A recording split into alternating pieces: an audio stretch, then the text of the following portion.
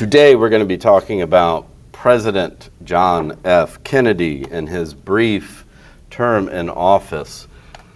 So, um, some of these we're actually going to just briefly mention. We're not going to go into depth on, but um, most of these are pretty self-explanatory, and the ones that are confusing, I will definitely go into um, when we get to the actual notes. So, same as always, two minutes, start writing, and then you can continue to write as I explain.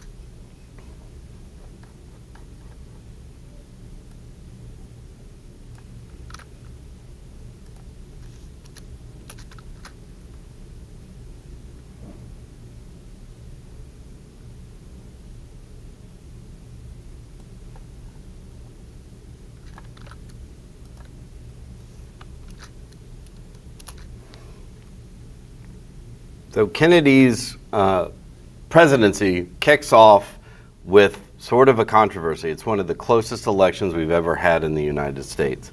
And when we talk about a close election here, we're um, not talking about the overall popular vote, about everybody voting in the United States, even though that was, that was very close. But individual states, it came down to a handful of states in order to get Kennedy the Electoral College vote.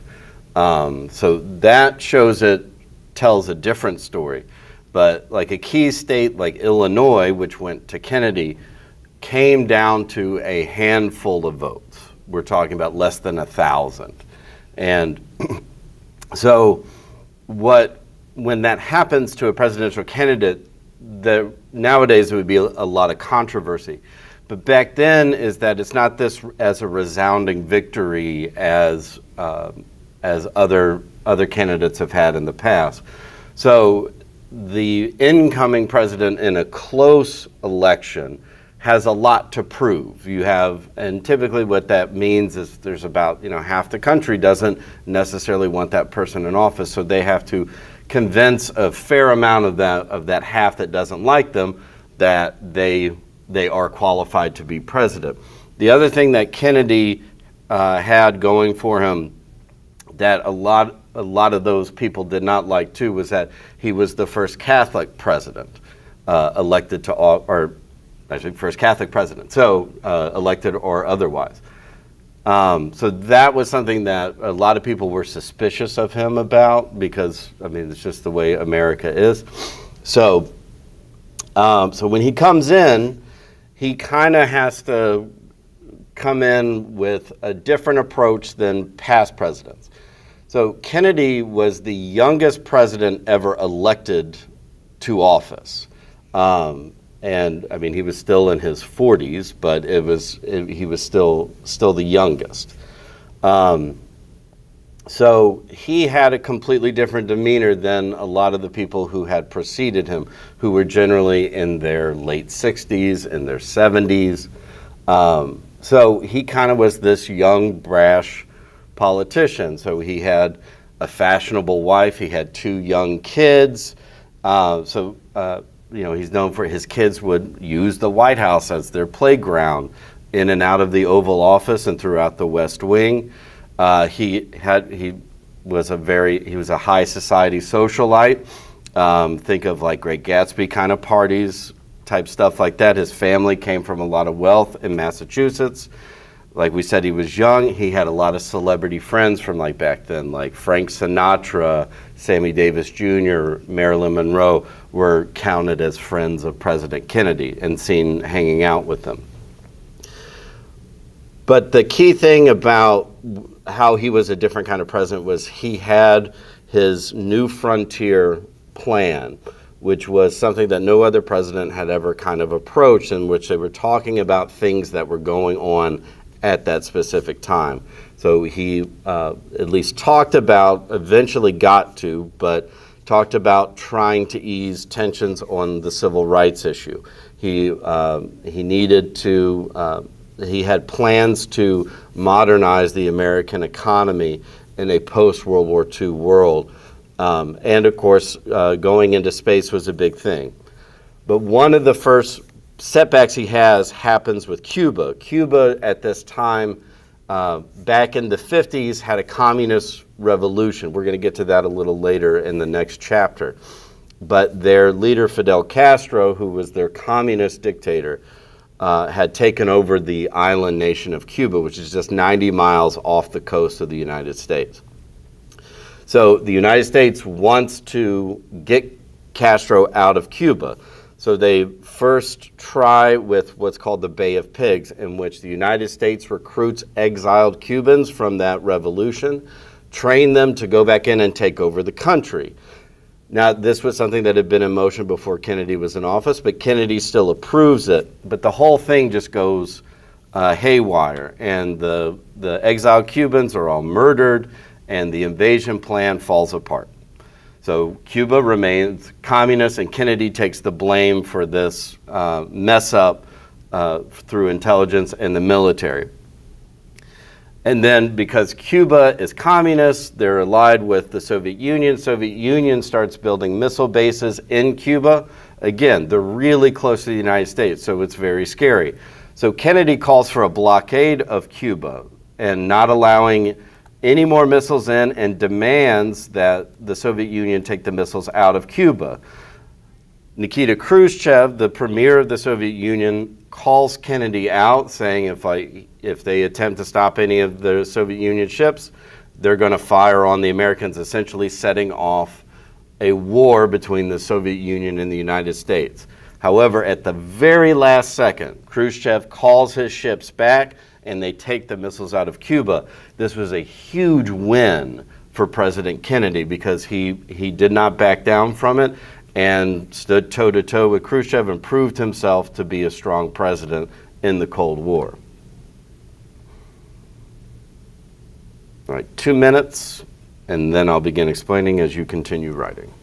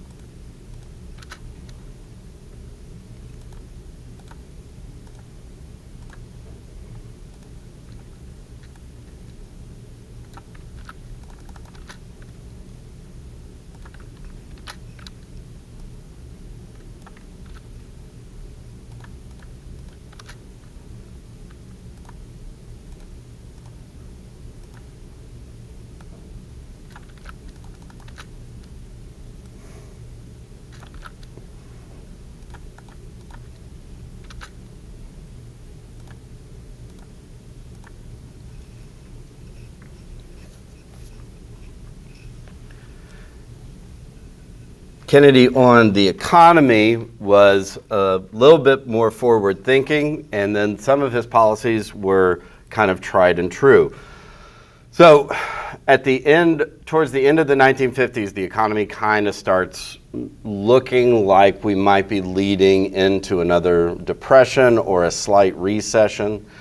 Um, and that's what Kennedy inherits, and he has to try and stop that because most everybody, the Great Depression is still fresh in their memory, and they don't want to repeat that. So Kennedy does what's called deficit spending, is that even though the United States is not um, making uh, or balancing their budgets, is, is the best way to put that, they're still spending a lot of money on a lot of social programs. Um, remember, we have, you know, public schooling is growing at this time, all that. And um, so the main thing is, is with this, he's able to stabilize and prevent any kind of economic depression from happening. Uh, in addition to this, where he was very progressive, is he sponsored legislation that got passed in Congress that's called the Equal Pay Act, which, uh, at least in federal um, jobs, and it's recommended in uh, all other professions that women get the equal pay to men. Now, at the time, that's a very important step. Now, if you pay attention to current events today, there still is a large wage gap between men and women. So it's not entirely enforced, but it was a step in the right direction for trying to get women equal pay in the workplace. And on the federal level, it, it, that does happen. Uh, but with private businesses, they're kind of left to their own to, to do what they wish.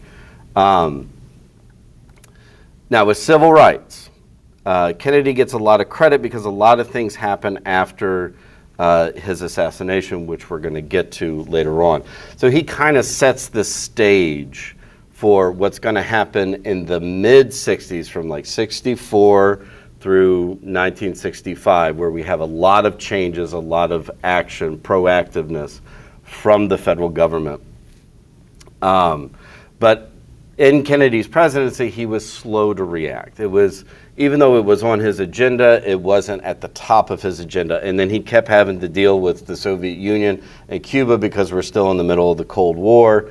And there were other issues that we're going to get into, like whether or not to go into Vietnam and so on and so forth. Even though that's not a, a good justification for it, but that's just the reality of his presidency. And so by the end of his presidency in 1963, he, he starts crafting civil rights legislation that's eventually going to become the Civil Rights Act of 1964. Um, the other big piece of his agenda was the space, or what we end up calling the space race. And what that is, is that this was actually something that was created literally in the minds of the uh, of Americans, in that in the 1950s, the Soviet Union uh, and the United States were trying to, you know, get into space, and they're trying to one up each other. And the Soviet Union, at the very beginning of the space race, just dominated the United States. They had the first person in space, they had the first person to orbit the Earth, they had the first satellite in orbit, they had the first woman to go into space.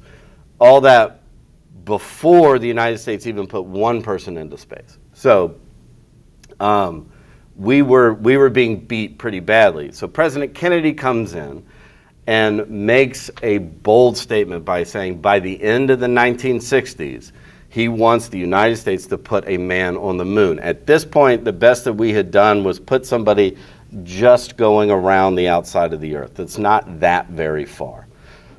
But to the United States' credit, they follow up on President Kennedy's ambition, even though he wasn't alive to see it and in 1969, the United States puts a man on the moon. And at that point, same as when we developed the nuclear bomb, like we are immediately technologically miles ahead of everyone, every other country on planet Earth.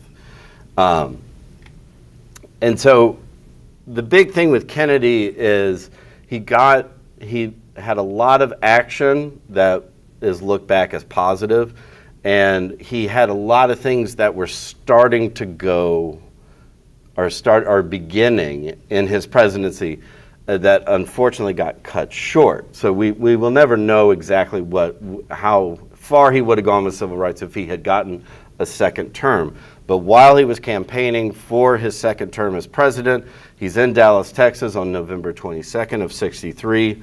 He's riding in an open top limousine, waving to people in the crowd, and an assassin uh, cuts him down with three shots, and they were all fatal, and he doesn't, he doesn't leave Dallas alive. And then his vice president, Lyndon Johnson, is uh, sworn in as president almost immediately. And it's going to be Johnson that a lot of the things that Kennedy started, Johnson's going to finish in his, um, his terms as, as president. Uh, and that's where we're going to leave it today.